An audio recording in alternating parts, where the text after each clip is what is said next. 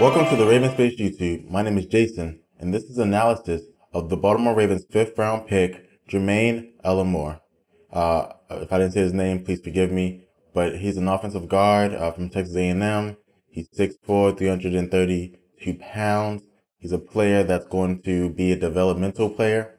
Um, again, late into these drafts, you try to look for people that you think have good, um, either uh, motors or they're physically uh, gifted and are able to play this game.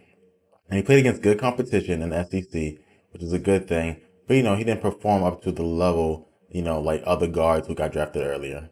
Um, but he is a good player um, in college. He's obviously he got drafted by the NFL. Um, developmental player.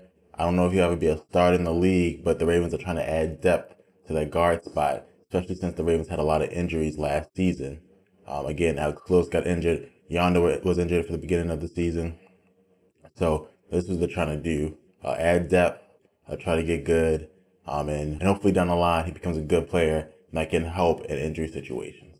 So thank you guys so much. Uh, please watch all the other draft videos. I think we have one more pick coming. So after that pick, I'll give you a quick analysis and I'll review the entire draft and give you my draft grade. Uh, thank you so much and uh, go Ravens.